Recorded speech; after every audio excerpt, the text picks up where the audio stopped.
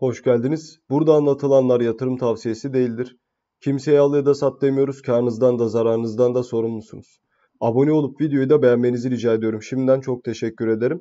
Ee, ABD'deki bir politikacı bunu e, en çok şeyden tanıyorsunuz arkadaşlar. David Koch'tan kendisi e, Shiba üzerine yapmış olduğu yorumlardan e, tanıyoruz. Hepimiz için geçerli bu. Bir, biliyorsunuz ki ciddi bir Shiba holder'ıdır kendisi.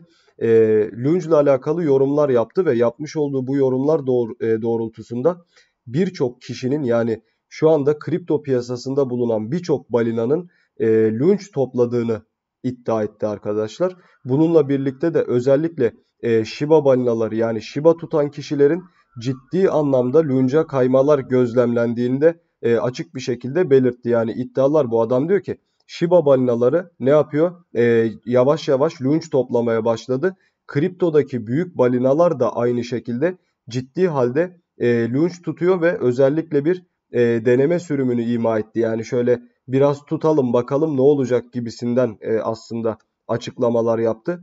E, nitekim ben de bunun bu şekilde olduğunu düşünüyorum. Çünkü piyasada ciddi halde biliyorsunuz şu anda bir lunch furyası var. Aslında pek çok kişinin hiç değilse şöyle bir e, ortamın havasını alabilmek, gözlemleyebilmek amacıyla e, tuttuğu kanaatindeyim ben de. Nitekim bu noktada geçtiğimiz günlerde de konuştuk. Lunge üzerinde ciddi bir e, yükselişe rağmen balina aktivitesinin yanı sıra eşit dağılıma doğru bir e, gidiş var sevgili arkadaşlar cüzdanlarda ki bu olmasını istediğimiz bir durum.